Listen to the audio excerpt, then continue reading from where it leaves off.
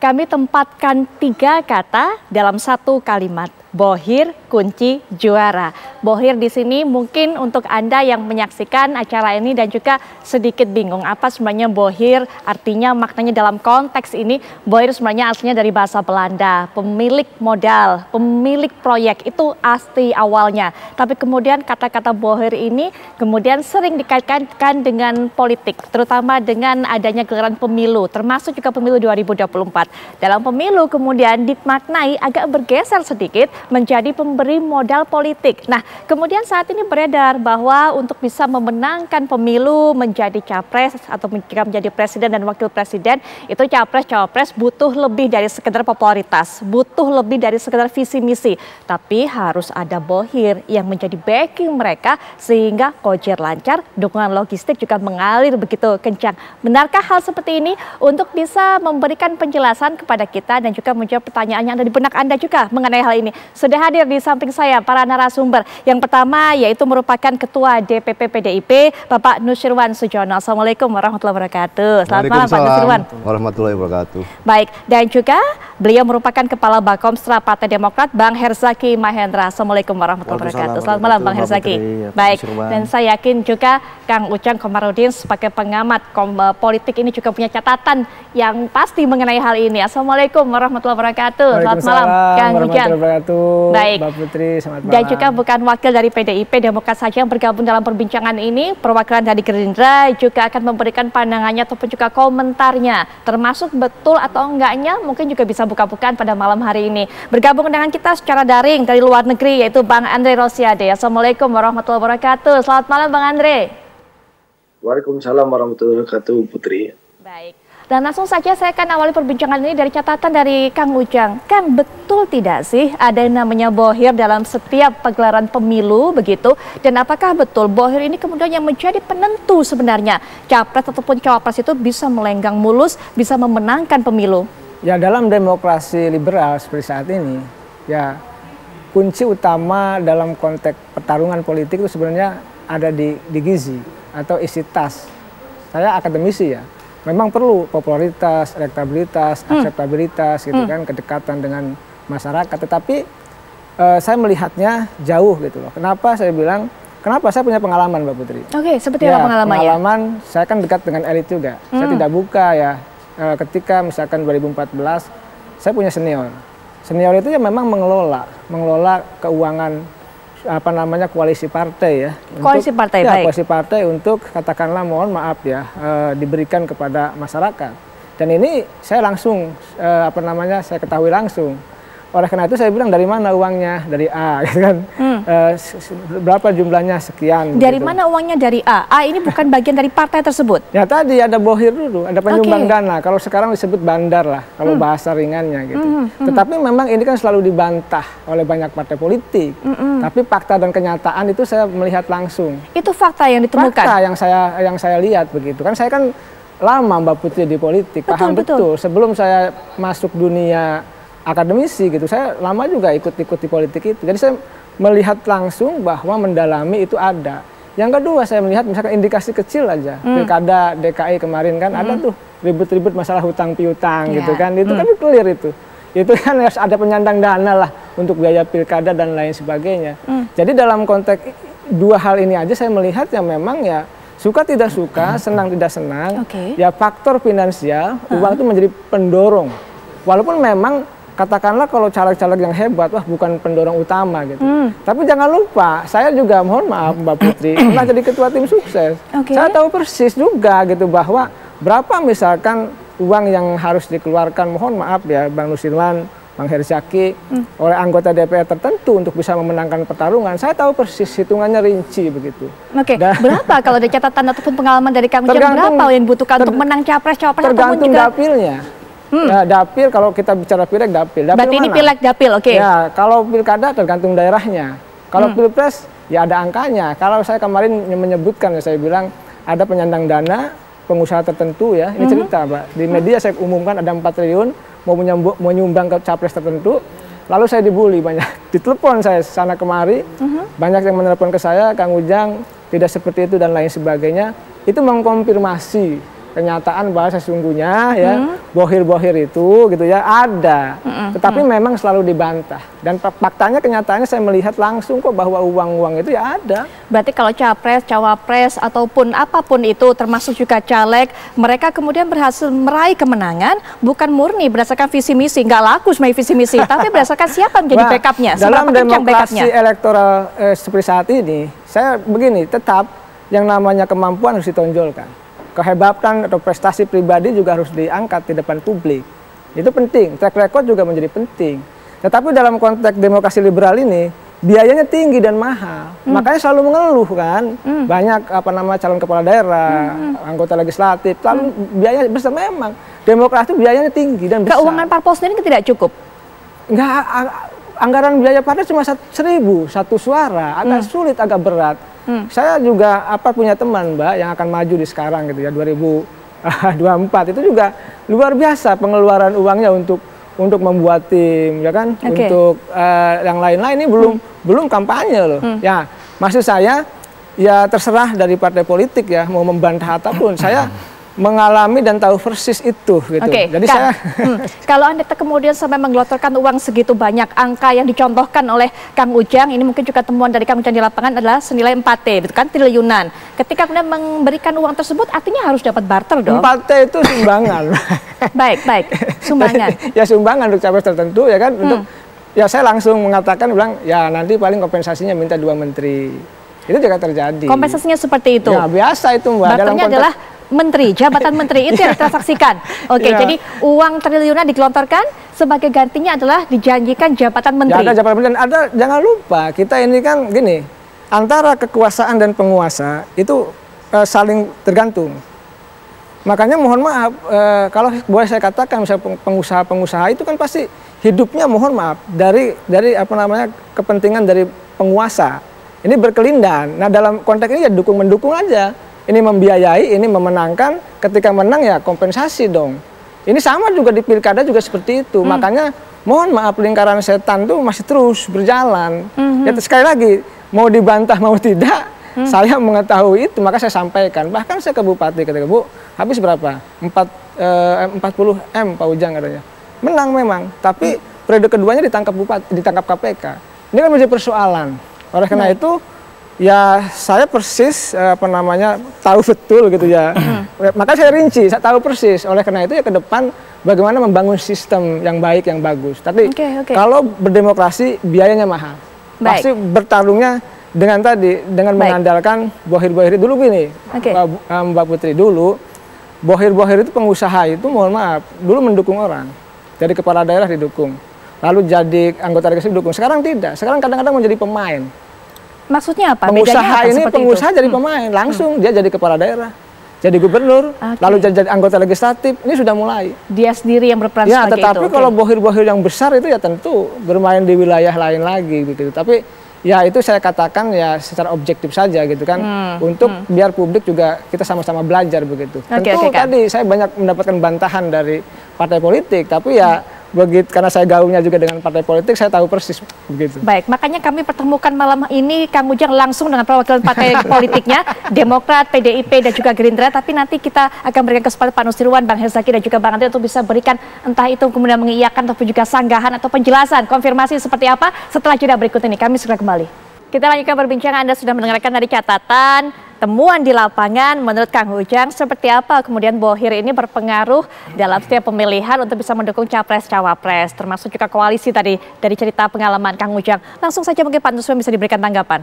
Terima kasih. Jadi kalau untuk capres cawapres uh, untuk PDI Perjuangan mungkin nggak kenal ya istilah bohir itu. Hmm, hmm. pengusaha dan sebagainya ini mungkin apa yang saya sampaikan terlalu berlebihan, tapi berdasarkan catatan pada waktu tidak usah jauh-jauh pemunculan Pak Jokowi itu pun juga yang awal itu berarti sudah dua kali eh, keputusan menjadi calon presiden. Tidak terlihat itu eh, apalagi setelah yang terakhir ini eh, Ibu Megawati memutuskan uh, Ganjar Pranowo menjadi calon presiden PDI Perjuangan, apakah ia ada tertangkap uh, itu adalah sebuah uh, pengaruh atau tekanan dari uh, pemilik modal seperti yang kayak-kayaknya di tempat kita tidak tidak mengenal hal tersebut. Terus sumber dananya dari mana, Kekuatan kita tentu adalah kekuatan kepercayaan rakyat. Karena itulah uh, pemahaman dasar gotong royong berkaitan dengan kebutuhan tentu tidak bisa dipungkiri bahwa untuk melewati sebuah perjalanan pemilihan eh, baik itu presiden, calon presiden maupun untuk legislatif tentu membutuhkan hal-hal yang eh, teknis seperti di daerah pemilihan dan untuk calon presiden tentu ya seluruh Indonesia. Tapi kami mendasari kepada kebersamaan gotong royong bersama seluruh uh, rakyat dan warga partai kita, seluruh kita bersama-sama itu ter, terlihat dari apa kalau Ibu Mega mengeluarkan perintah harian untuk tiga pilar kita bergerak bersama-sama untuk memenangkan calon presiden. Ini seolah-olah sepertinya ini kalimat-kalimat normatif. Mm -hmm. Tapi sesungguhnya ya memang begitulah di tempat kita. Jadi sumber dana logistik yang begitu besar, ya, soal itu, dari kader internal? Kader internal. Itu masing-masing kan tentu ada yang tidak berada di dalam uh, keanggotaan. Dia berprofesi sebagai apa bersama-sama dalam pikiran yang sama dengan PDI Perjuangan. Simpatisan ya, dong Pak? Simpatisan.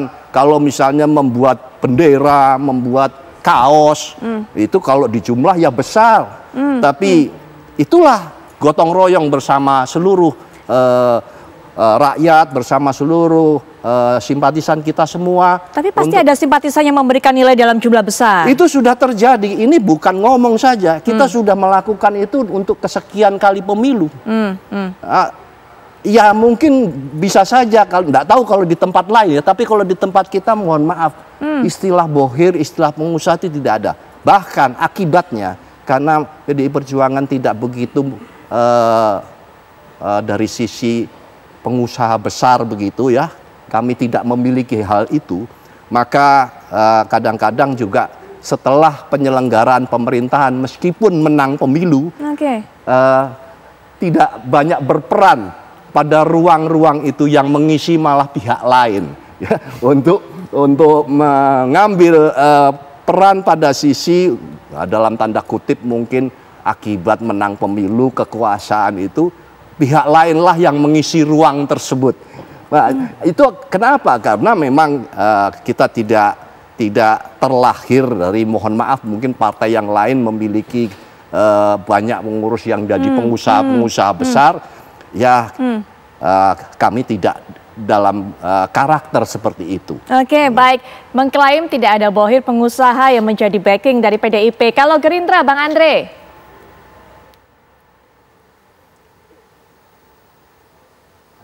Bang Andre bisa mendengar suara saya? Saya ya, tidak Putri. Ya, silakan. Oke, okay, Bang Andre. Ya, uh, sama seperti Pak Nusirwan, kalau kami kan partai-partai kader ya. Bagaimana uh, kita punya selalu uh, mengedepankan semangat gotong royong dalam membiayai seluruh kegiatan partai maupun tahapan-tahapan uh, pemilu yang ada mulai dari pileg, pilkada sampai pilpres.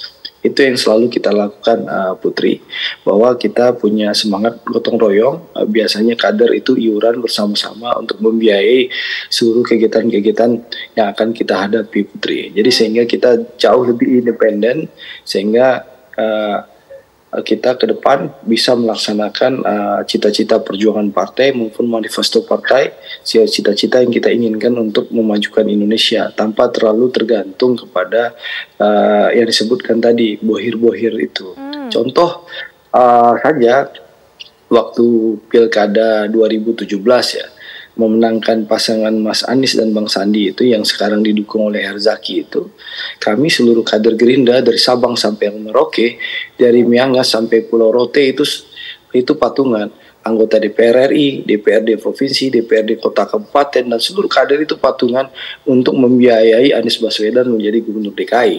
Di luar mungkin ada sumbangan pribadi Bang Sandi untuk membiayai kampanye beliau, tapi kita mengumpulkan itu miliaran.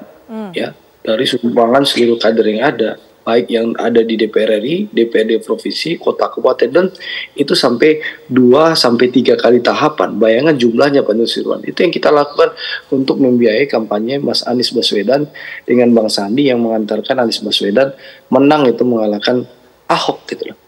Itu itu yang terjadi. Jadi itu contoh-contoh bahkan sebagai ketua DPD Gerindra Sumatera Barat pun waktu uh, memimpin kontestasi pilkada hmm. 2020 yang lalu kami yeah. mendukung wakil gubernur Sumatera Barat waktu itu almarhum Nasrul Abid itu seluruh kader Gerindra itu patungan untuk membiayai kampanye Pak Nasrul Abid untuk Baik. menjadi gubernur Sumatera Barat. Jadi memang budaya kami budaya hmm. gotong royong, memang uh, kader-kader uh, berjuang uh, bersama-sama hmm. untuk membiayai kontestasi politik yang kita hadapi. Ya, itu level pilkada bang. Kalau level pilpres kan tentu dana yang dibutuhkan juga lebih besar bang. Termasuk level pilpres, saya masih ingat uh, Putri, saya uh, mengalami langsung ya waktu 2000, tahun 2019 uh, calon wakil presiden kami Bang Sandiaga Salahuddin Uno itu datang ke Sumatera Barat untuk berkampanye pilpres ya. Bang Sandi itu sebagai calon wakil presiden itu hanya datang dengan modal tiket pesawat. Seluruh kegiatan yang ada di Sumatera Barat itu kami uh, patungan urunan untuk membiayai kegiatan Bang Sandi berkampanye sebagai calon wakil presiden waktu itu. Itu saya alami sendiri, Utri. Hmm. Jadi seluruh biaya kampanye Bang Sandi berkeliling Sumatera Barat itu, itu kami kader-kader Gerindra dan seluruh masyarakat patungan urunan untuk membiayai kampanye beliau. Okay. Jadi Bang Sandi itu datang ke Sumatera Barat sebagai calon wakil presiden Pak Prabowo itu datang hanya punya modal ongkos pesawat terbang saja, gitulah. Sisanya hmm. kami yang urunan pendukung beliau baik kader Gerindra maupun masyarakat. Itulah budaya kami di Partai Gerindra uh, bahwa budaya kami budaya gotong royong, budaya urunan karena sekali lagi uh, uh, sebagai partai kader ya, partai yang selalu mengedepankan dan mengusung kader bukan kutu loncat ya. Jadi kami memang uh, uh, memang tentu akan uh, patungan uh, karena yang akan kita usung adalah kader sendiri dan kami meyakini dengan gotong royong semangat perjuangan akan semakin kuat, semakin solid sehingga setelah menang insya Allah betul-betul independen dalam memperjuangkan kepentingan rakyat. Seperti itu Putri, itulah budaya kami di Partai Gerindra. Oke, Mungkin saya tambahkan sedikit ya. karena tadi menyinggung soal uh, pesawat. Kader, pesawat baik. Uh, sebagai contoh, uh, belum lama ini berapa minggu yang lalu, berapa hari yang lalu uh, calon presiden dari kami, Ganjar Pranowo, berkunjung ke Jawa Timur. Dalam satu pulau yang sama, tempat dia bekerja sebagai gubernur Jawa Tengah.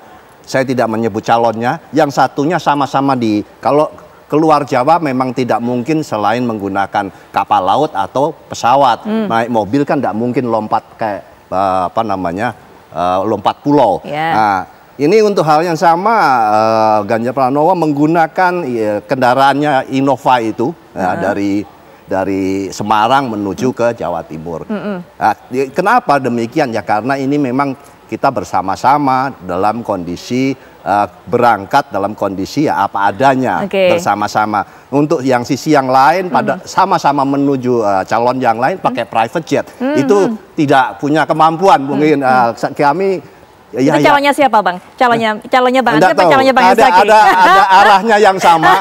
Ah. jadi arahnya yang sama okay. tapi yang satu mampu. Okay, yang satu baik, mampu baik. dengan menggunakan pesawat, yang okay. satunya pakai mobil saja. Okay. Oke, okay, itu, Pak Nusirwan. Itu ada. Ya Pak Nusirwan itu kejadian di Jember itu. Baik, Bang Hesaki mungkin bagaimana juga melihatnya? Ya, kalau dari kami melihatnya begini nih. Bagaimanapun kalau kita bicara uh, mengenai kembali lagi kepada Demokrat. Kalau saya kan dari Demokrat ya. Uh, selama ini Mas Ahaye, saya mengikuti perjalanan beliau dari Pilkada Jakarta sampai dengan sekarang. Nah, sejak kepengurusan beliau 2020 ini terasa sekali. Terasa sekali bagaimana kami yang di luar nih, di luar uh, sebagai oposisi, di luar pemerintahan, ya bagaimana kita bisa bekerja dan bergerak kan tidak mungkin, tidak ada menteri ini kan kalau ada menteri kan sekalian jadi menteri, keling-keling orang tahu prestasi menteri itu bisa dianggap sebagai quote and quote prestasi dari kader dari partai itu kan begitu. Yeah, itu sah. Yeah. Itu wajar saja gitu. Kami kan tidak ada gitu. Sehingga etalase kami adalah ya yang menggunakan baju Demokrat di mana pun berada, ya itulah kerja keras dari Demokrat. Rakyat akan melihat itu gitu, menilainya dari itu. Nah sehingga ketika itu uh, Mas Ahaye meminta kepada kita semua waktu itu seluruh Indonesia belum menyampaikan kita harus bantu rakyat karena waktu itu Covid. Bantu apa yang kita bisa, apa yang kita mampu. Tidak perlu harus pakai tenda megah, besar atau seremoni, tapi kita hanya punya katakanlah tadi ada yang mampu 50 bungkus nasi, kasih 50 bungkus nasi. Ada yang mampu mengasih 100 uh, box masker, kasihlah masker gitu. Jadi uh, tidak ada patokan bahwa uh, semua itu harus seperti apa dalam konteks harus sebesar apa, tetapi hmm, hmm. bantu aja masyarakat. Ternyata itu luar biasa. Ternyata kader-kader, pengurus dan juga anggota dewan di seluruh Indonesia itu uh, menggunakan uh, tadi mengikuti uh, arahan dari Mas Ahaye. Karena Mas Ahaye sendiri sebelum mengarahkan itu, hmm. memberikan instruksi itu, beliau mencontohkan sendiri. Okay. Beliau ngangkat-ngangkat masker, ada bantuan nah. segala apa, membawa ke masyarakat uh, warga sekitar. Nah ini Baik. jadi ada leadership by example dulu. Ini kalau kita bicara mengenai tadi ya, ini sebelum masuk ke arah uh, popularitas dan bohir ini gitu. Okay. Nah jadi memang kalau di Demokrat seperti itu leadership by example. Mas Ahaye sendiri mencontohkan kita bantu masyarakat nggak perlu malu kita punya apa, kita bantu aja gitu. Hmm, nah, hmm. akhirnya ini menjadi suatu gerakan yang luar biasa di seluruh Indonesia oleh kader-kader Partai Demokrat. Dan itu kenapa kami bisa tahu? Karena mereka kami wajibkan setiap kali berkegiatan harus difoto dan diposting di media sosial sebagai bentuk akuntabilitas hmm. bahwa eh partai politik ini bergerak loh bahkan dengan dana sendiri dengan dana dari milik pribadi kader hmm. kita bergerak bantu rakyat gitu nah ini ini uh, yang menjadi semangat nah sehingga kalau tadi ditanya mengenai popularitas dan bohir Apakah di Demokrat ada seperti itu? Ya sampai dengan saat ini yang saya tahu, saya cermati itu semua kekuatannya berasal dari dalam maupun juga tadi sama dari simpatisan hmm. dalam menjalankan operasional partai sehari-hari bagaimana membantu rakyat. Ya kita masih memahami namanya juga uh, parpol yang dulu pemerintahan gitu kan, ada keterbatasan, tetapi ternyata alhamdulillah itu mendapatkan apresiasi yang luar biasa dari masyarakat. Hmm. Sehingga kita tahu dalam tiga tahun ini survei Demokrat cukup signifikan peningkatannya. Ada okay. peningkatan yang signifikan. Okay, nah, baik. kita masuk ke tema nih ya, sebagai yeah. pengantar ke bicara ke Pilpres dan uh, popularitas dan bohir ini kalau kita cermati. Kalau kami melihatnya begini, kami saat ini mendukung Anies Baswedan karena beliau adalah figur perubahan representasi dari koalisi perubahan yang merupakan aspirasi dari masyarakat ketika Mas Ahaye dan seluruh anggota dewan maupun kader kami berkeliling ke masyarakat. Hmm. Nah kalau kita bicara mohon maaf nih masalah bohir misalnya, ya kami mendukung Anies Baswedan ini tidak ada apa-apa loh. Komitmennya adalah punya semangat sama, punya platform yang sama. Nggak ada ini mohon maaf transaksional, tag and get, nggak ada. Hmm. Ini saya sampaikan di sini apa adanya biar seluruh Indonesia tahu ya bahwa kami mendukung Mas Anies karena punya kesamaan visi, misi dan platform. Tidak ada perpindahan, mohon maaf, kardus kah gitu ya kan, koper kah gitu ya kan, hmm. atau rekening yang lain-lain gitu loh. Ini kan biar clear nih, biar jelas. Nanti takutnya kan Bang Ujang tadi punya pengalaman, ya mungkin ada pengalaman, ya kan namanya pilkada 514 calonnya dua aja udah seribu lebih ya Bang Ujang ya kan macam-macam variasinya tetapi sepanjang yang saya tahu tadi kalau kita bicara mengenai pilpres mm-hmm. ya clear saat ini hubungan kami dengan Mas Anies ya selaku capres kami ya tadi karena punya visi misi platform yang sama Baik. dan punya keinginan bersama untuk berjuang memperjuangkan perubahan Baik. masuk satu hal lagi terakhir terkait dengan popularitas dan bohir uh. kalau kami melihatnya begini semakin populer semakin baik calon yang akan kita usung mm-hmm. ya akan semakin minim dana yang kita butuhkan.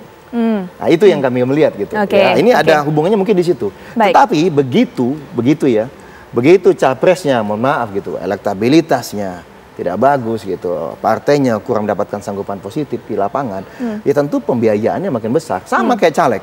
Caleg kalau misalnya mohon maaf rajin turun, kami ini kan hmm. diminta turun ke lapangan nih. Hmm. Saya sendiri, saya saat ini berencana nyalek di Kalimantan Barat satu. Saya sudah dua tahun keliling di Kalbar ini ke di kampung saya. Jadi di tengah-tengah kesibukan kita mengurus partai, mengurus usaha, mengurus keluarga, kita harus menyempatkan diri terus hmm, turun ke lapangan ke masyarakat. Kenapa? Uh, tidak ada jaminan gitu, okay, tidak ada baik. jaminan bahwa kita bisa dipilih kalau tidak mau turun ke lapangan. Ya, nah itu tadi ya. kira-kira sekedar bayangan awal, hmm. tapi kita terbuka nih buat diskusi mungkin mengarah ke yang tadi Bang Ujang sampaikan. Betul, Kang Ujang itu sangkalan hmm. dari tiga partai. Semuanya kemudian bersikukuh bahwa sumbernya dari mana? Dari urunan, patungan kader-kader, dan juga gotong royong. Tapi cukup nggak sebenarnya semua itu kemudian untuk bisa membiayai, untuk bisa menjadi penutup dari ongkos capres-capres yang tentunya begitu besar. Nanti Kang Ujang ya setelah jeda kita akan berikan komentar, tapi setelah jeda berikut ini kami segera kembali. Kita akan kembalikan perbincangan. Langsung saja saya berikan kesempatan kepada Kang Ujang untuk bisa menanggapi semua sangkal dari tiga partai dalam perbincangan ini. ya kita lihat begini, ya kalau menurut saya kurang nutup ya. Kalau biaya partai misalkan seribu ya per suara, itu kan berapa sih untuk dibagi kepada misalkan caleg ataupun capres. ataupun kalau sumbangan pun gitu berapa sih?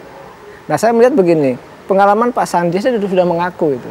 Beliau kan katakan hampir satu triliun, ya kan mengeluarkan dana untuk pilpres. Artinya kan itu sudah berapa, sudah kuat. Dan jangan lupa Pak Sandi ini kan bagian daripada apa namanya pemilik modal juga yang kuat.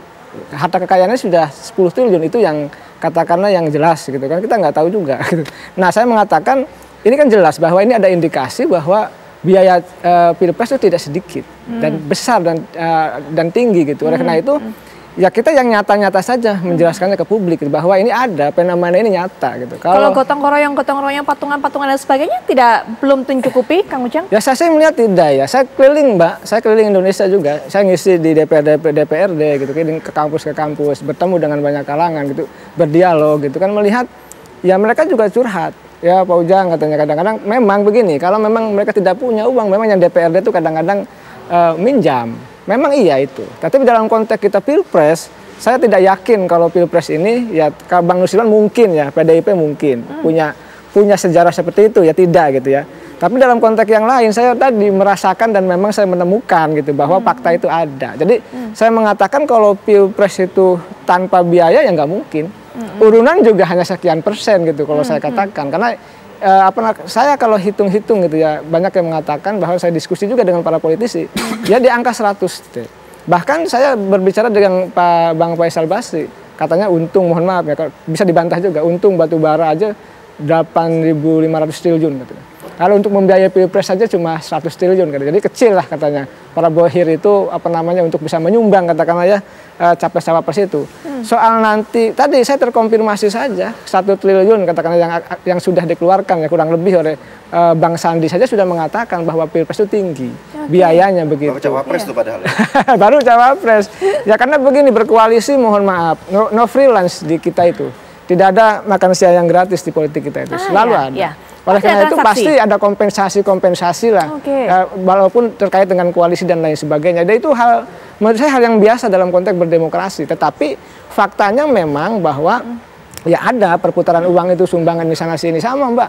Kalau misalkan saya ingin menjadi bupati itu pasti ada yang nyumbang kok. Hmm. Sudah pasti ada yang datang ke saya hmm. gitu. Udah pasti itu.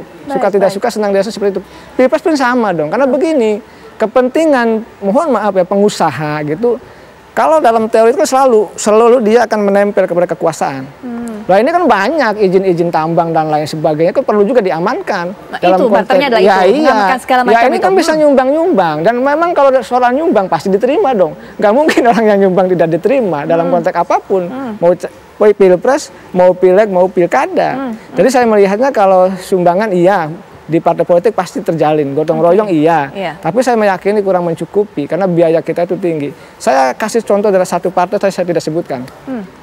uh, tadi pilpres ya kita pilih gitu ya itu bahkan di partai tertentu gitu hmm. calegnya itu ya menebar di hari H itu sampai 800 ribu amplop hmm. sampai 500 ribu amplop dan ini ini ya fakta-fakta yang saya temukan gitu selama saya uh, apa namanya ya pernah jadi tim sukses, pernah mendalami dengan senior-senior di partai, lalu juga saya meriset gitu. Itu itu terjadi.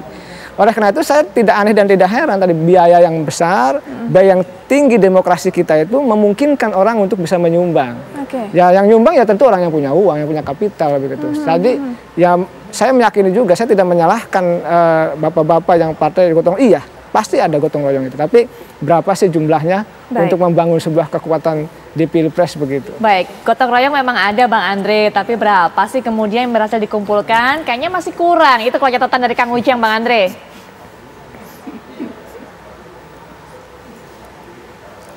Ya, ya Putri. Ya, saya kan bicara konteks pengalaman saya ya.